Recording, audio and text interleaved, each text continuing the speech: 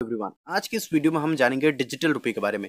Digital रुपए जो pilot project base पे था, अब जो है इसे सभी बैंक ने लॉन्च कर दिया है। सबसे पहले प्ले स्टोर पर अगर हम सर्च किए हैं तो देखिए digital rupee by ICICI bank digital rupee by Kotak bank industrial bank bank of Baroda H D F C bank Canada bank सभी बैंक ने इसे जो है Punjab national bank Axis bank SBI सभी बैंक ने अपने प्लेटफॉर्म पे, यानी कि प्ले स्टोर पे लॉन्च कर दिया है डिजिटल रुपी का ऐप अब आप इस ऐप की मदद से डिजिटल रुपी का पेमेंट कर सकते हो। सबसे पहली बात कि डिजिटल रुपी का पेमेंट करने के लिए क्या करना पड़ेगा? ये एक पायलट प्रोजेक्ट में था, यानी कि आरबीआई और बैंक जो है, इसे मिलकर कुछ ही यूज़र्स को प्रोवाइड कर रही थी। लेकिन अभी फ़िलहाल ये सभी यूज़र्स के लिए अवेलेबल हो चुका है। आपको कई बैंकों का, स्टेट बैंक या कई अदर्स बैंकों का मेल भी आया होगा कि आप जो है डिजिटल रुपये का इस्तेमाल कर पाओगे। लेकिन डिजिटल रुपये का इस्तेमाल करने के लिए आपका सबसे पहले मान लीजिए मैं ये कनाडा बैंक का जैसे एप्लीकेशन ओपन किया, डिजिटल रुपये का, इसे आपको इंस्टॉल करना है। इंस्टॉल करने से आपको सिंपल रजिस्टर्ड करना है जिसमें मोबाइल वेरिफिकेशन होगा। सबसे पहले कैनेडा बैंक का अगर हम लोग यहाँ पर एप्लीकेशन इंस्टॉल करते हैं तो इस जो कैनेडा बैंक में हमारा अकाउंट होना भी ज़रूरी है। यानी कि आपने पहले से ही कैनेडा बैंक में अकाउंट भी ओपन करवा रखा है।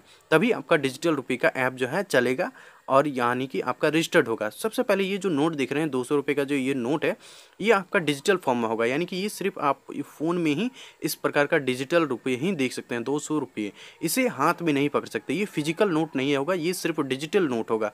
जो भी नोट यहाँ पे दिखाए जा रहे हैं, या जो कॉइन है, ये कॉइन या जो आप डॉलर हाथ में पकड़ते हो, उसे पकड़ नहीं पाओगे, ये डिजिटल फॉर्म में होगा।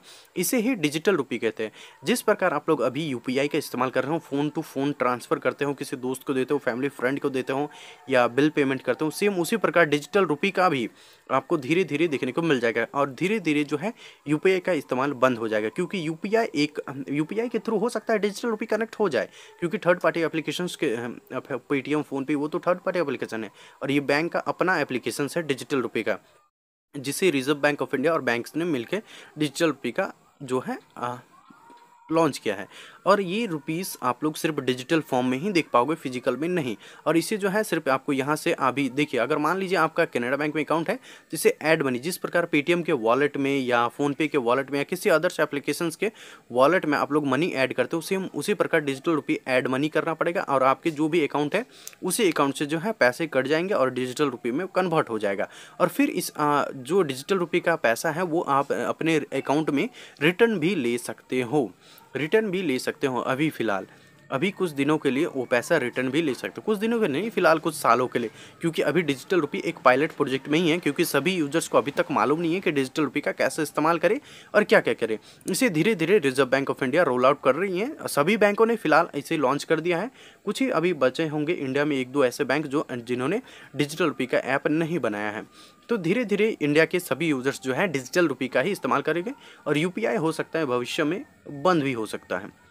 आई होप आपकी ये छोटी सी इन्फॉर्मेशन अच्छी लगी वीडियो अच्छी लगी like share subscribe thank you so much मिलते हैं आपके से अगले इन्फॉर्मेशन के साथ। अगर आपका अभी भी कोई भी सवाल हो तो कमेंट में बिंदास पूछेगा